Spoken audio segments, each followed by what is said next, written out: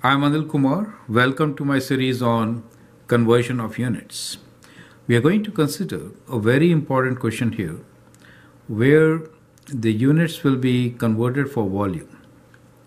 The question here is Ana's baby is ill.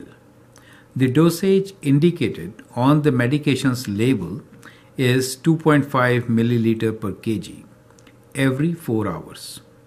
The baby weighs 9 pound and 8 ounces and Ana has measuring spoons in the sizes 1 eighth, 1 fourth, 1 half and 1 teaspoon. So all these are units of teaspoons. How much medication should she administer every 4 hours? Choices are 2 teaspoon, 2 teaspoon plus half teaspoon, 2 teaspoon plus 1 fourth of a teaspoon and 2 teaspoon plus 1 eighth of a teaspoon. You can pause the video, answer the question and then look into my suggestions. Now let's also look into some very useful units. What is 1 teaspoon equal to? As far as milliliters are concerned, 1 teaspoon is 5 milliliters. That is one conversion we need. We are given weight in kilograms and in pounds, so we also need conversion of kgs to pounds, right? So what we know is that 1 kg is equal to approximately 2.2 pounds. Okay, now what else? We are talking about ounces, right? We are saying pounds and ounces. So 1 pound is equal to 16 ounces. So I hope with these units you should be in a position to get your answer. Correct? Now let me also share with you a very methodical way of doing such questions in a straightforward statement.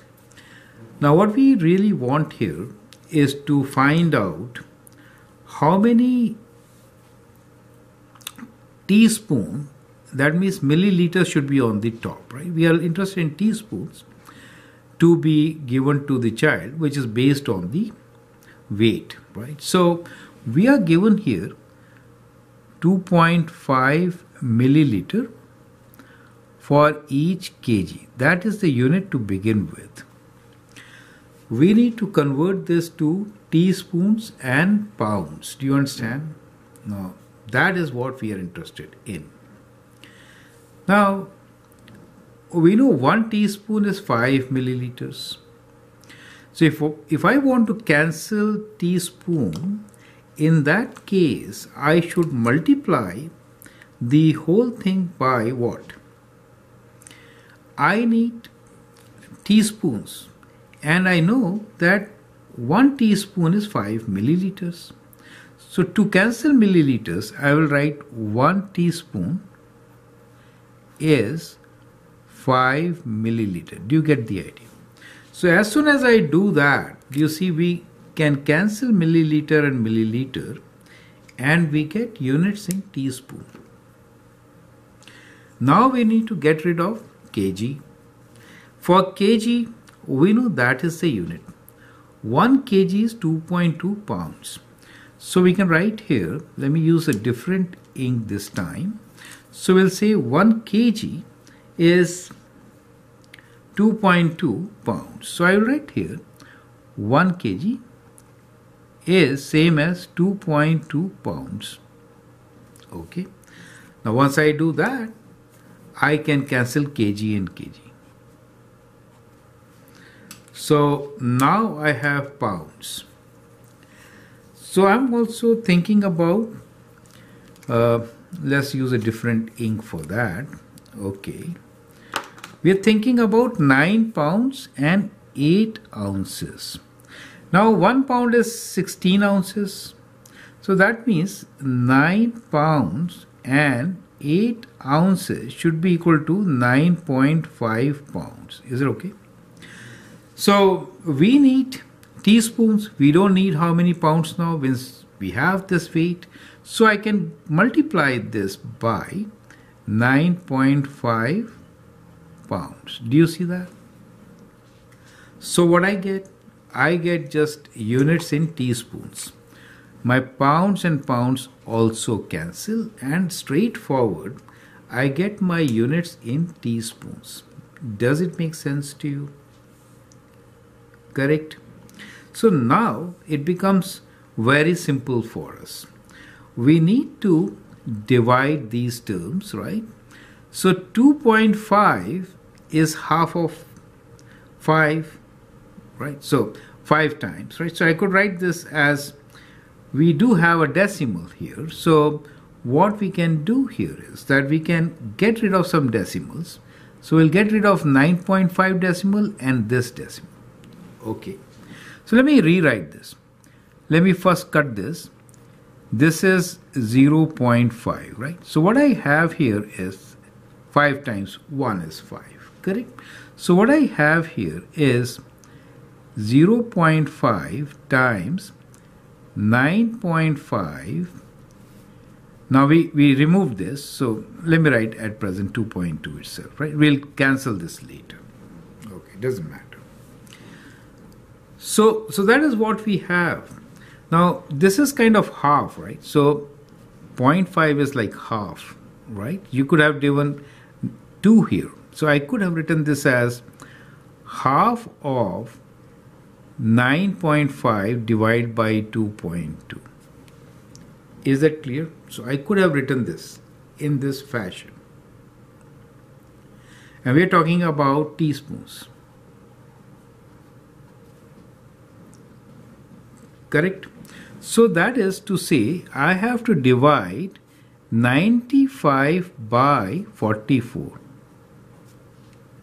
So let's do that division.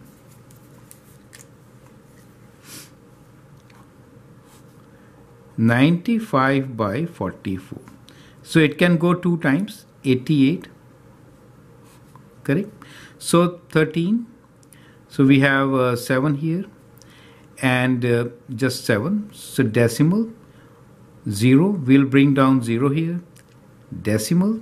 So 4 it will not go even two times. It is like 2.1. Do you see that? Now amongst these so we got 2 which is common so that 2 is okay as far as the smaller units are concerned, 1 over 8 is close to 0.1, right? So we're looking for 0.1. So we have option D as the right option. So we are getting 2.1 teaspoon. That means 2 full plus 1 eighth, correct? Because 1 eighth is slightly more than 0.1. Do you get the idea? So that is how we could do calculation without calculator. If the calculator was there with us, it was not at all a problem, right? So sometimes it becomes very tricky to solve these questions without calculator. So I hope that makes sense. Let's go through these calculations once again.